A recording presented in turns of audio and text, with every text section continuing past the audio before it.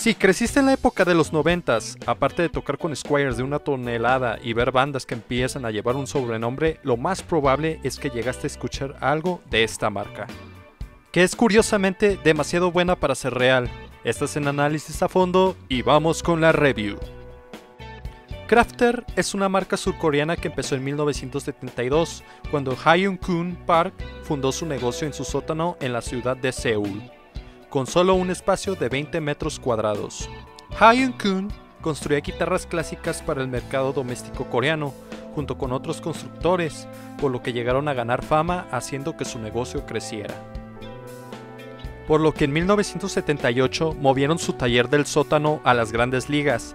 Fue aquí en ese entonces que las guitarras eran llamadas bajo la marca Senjum, que significa lograr el sonido, el cual se sigue vendiendo en el mercado coreano.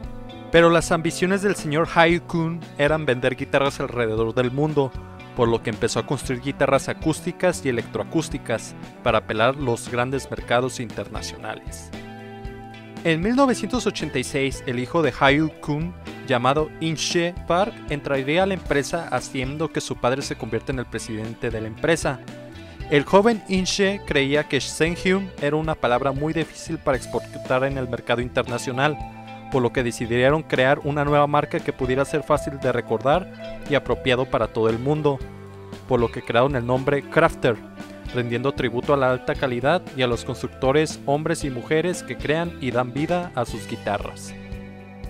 La submarca Cruiser nace de Crafter a finales de los 80s para fabricar modelos más asequibles y competir en el mercado con modelos muy atractivos como Stratocaster, Les Paul, estilo RR, S335, etc. Pero sin despreciar su marca padre, el cual es conocida mundialmente por la calidad y el cuidado de fabricación que le da a sus instrumentos, y hasta el día de hoy vendiendo solo Crafter más de 60.000 guitarras al año. Esta guitarra que tenemos en review es el modelo ST120BK en color negro brillante con construcción bolt-on, cuerpo de tilo con neck de arce con palo de rosa, 22 trastes jumbos con puente trémulo vintage cromado y una escala de 25 pulgadas y media y un peso considerable de 3.6 kilos.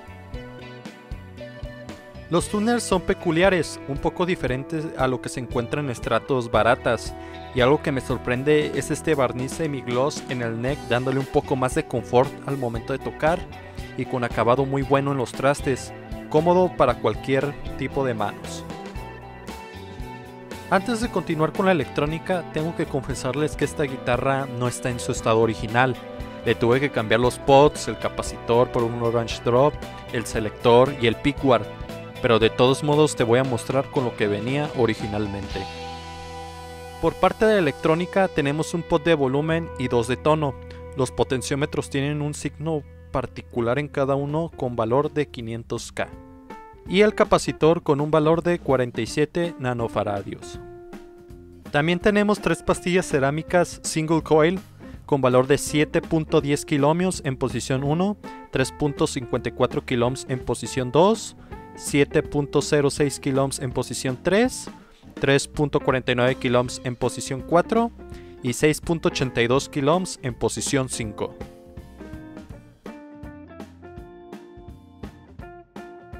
Las cavidades es otro punto a favor, ya que tenemos el espacio para poder colocar alguna humbucker en neck y en bridge, y el pickguard con espacio de cualquier Fender o Squire tomando la opción de poder upgradear esta guitarra sin problemas. Esos son todos los specs de la guitarra. Ahora vamos a conectarla y escuchar qué tal suena.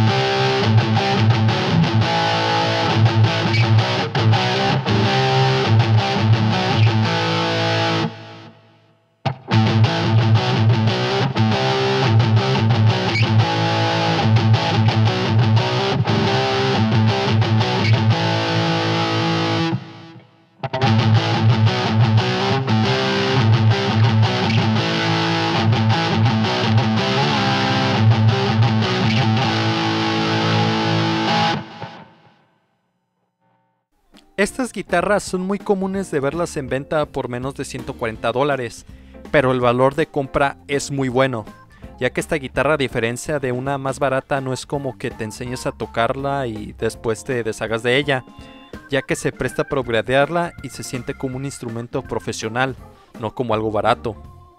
Si tienes un instrumento cruiser, no olvides dejar tu comentario y suscribirte. Tu opinión es muy importante para futuros videos. Hasta aquí el video de hoy. Yo soy Héctor Villanueva y nos vemos en el siguiente video.